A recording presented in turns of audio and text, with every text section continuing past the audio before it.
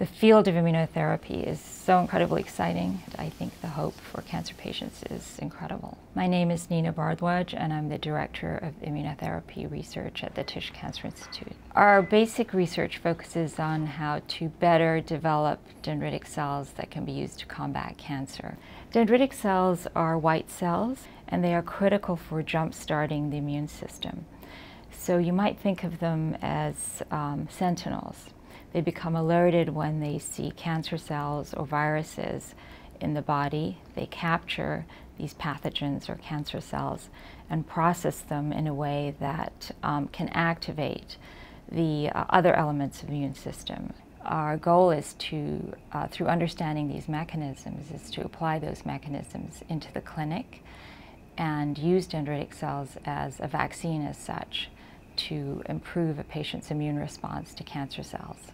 We have a state-of-the-art vaccine lab that allows us to make all kinds of vaccines and cell therapeutics in a very sterile environment. This is a one-of-a-kind facility. We're treating many different kinds of patients. We started initially with um, treating patients who have melanoma, which is a type of skin cancer, but we have since broadened our treatments to patients with other solid tumors.